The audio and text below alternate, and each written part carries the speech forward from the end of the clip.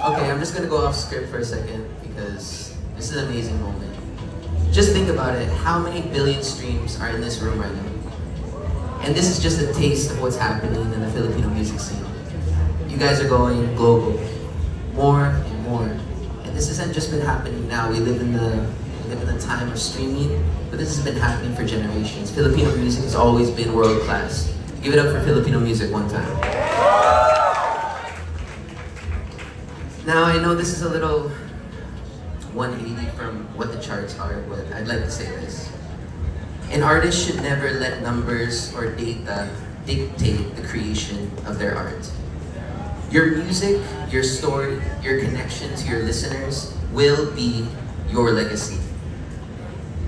So as a person who believes these statements, why are we so excited to welcome our charts to the country?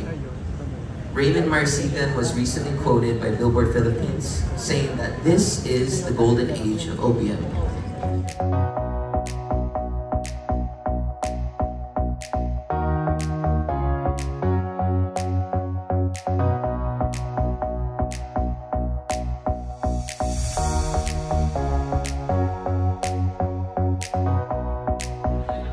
Super happy lang ako na I get to be the charts. Yun lang ako kasi parang bonus na sa akin na nagkaroon ng revenue.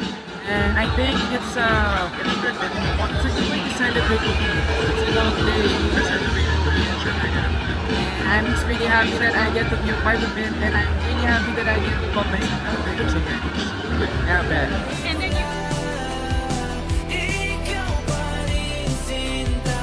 We've all been through it. Lahat tayo. Diba? Lahat tayo na-experience na yun. So I think just um it's the right timing naman na mag-release tayo ng ganung kanta. At least, at least meron singer na nakaka-relate sa inyo. Pero hindi na ngayon ha. Dilaw ano ako eh. Dilaw pa din. dilaw pa rin, dilaw Yeah, pa pero rin. ano na yan, I, I wrote that song months ago.